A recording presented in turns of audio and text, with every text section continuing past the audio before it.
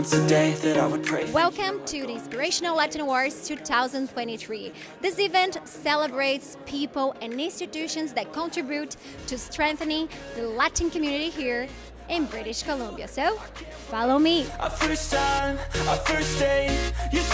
Our first time, our first date.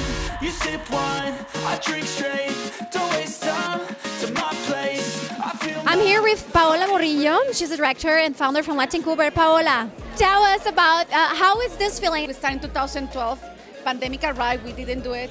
But it's again, you know, like I feel like celebrating people who hasn't stopped believing in themselves and representing our community is the most important. And second is because after the event, there are going to be many people that will be inspired. So the impact that we're doing here with Latincouver is that we recognize the people who are making a difference from the, you know, for BC, Canada, Vancouver, but then also we're inspiring so many other people. Said I'm falling fast. Don't remember life before you, that's. I feel good, like you, I can't wait. Our first time, our first date. You're so fine.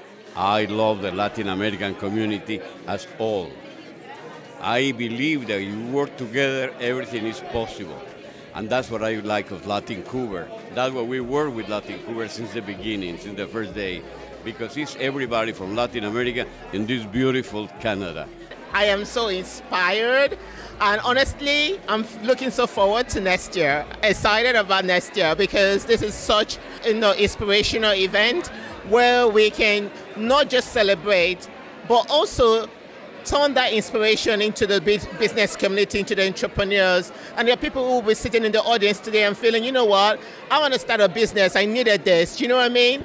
Well, the, the Latino community here in British Columbia is a dynamic, rapidly growing community, and it was very genuinely inspirational to hear many of the stories from different parts of the community, whether it's from business, from uh, the social side, uh, and uh, particularly dramatic was arts and culture, really, uh, really impactful.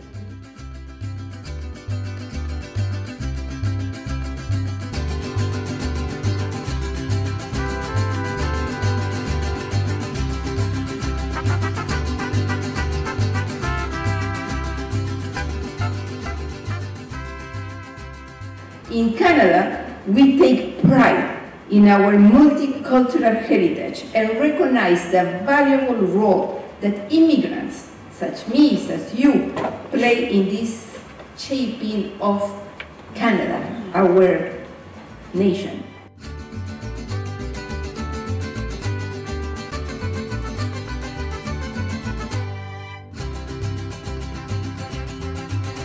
Well, Maria Adelaide, no quiero tomar tu tiempo. I just want you to tell us how is it's your feeling about being here today, inspiring a lot of people. I feel so proud and I'm very honored for this prize because I didn't expect it. I really worked hard, but I didn't expect it. And for me, it's like to create community, as I say in the video. This is what I learned here that we can do things for others, and this is my main goal.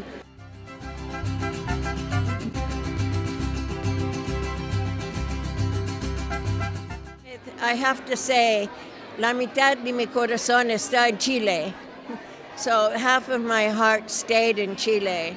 So I'm very, I'm, I'm very much connected to the Latin community, one way or another. So uh, it's been really good for me.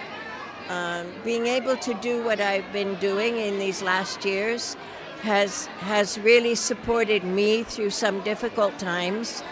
And what's great is that I've been able to support many people who now are doing the same kind of support work from when they came.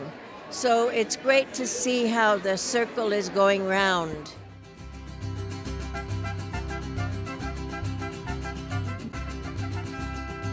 this this award means a lot to me. I mean, it is it inspired me to keep doing what I'm doing, helping and guiding people, provide them with right information so they can come apply uh, for a study work permit and deal with the immigration process.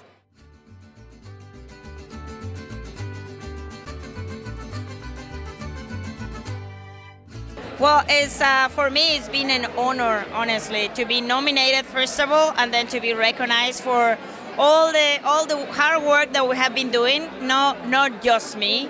It is my team, you know. It is my business partners. It is all my community that is always been helping me. There is people in here in this event from the community that has been supporting me for since I was uh, cleaning bathrooms when I started my first cleaning company. So for me, it's a real honor to actually help somebody else if I can even inspire a bit.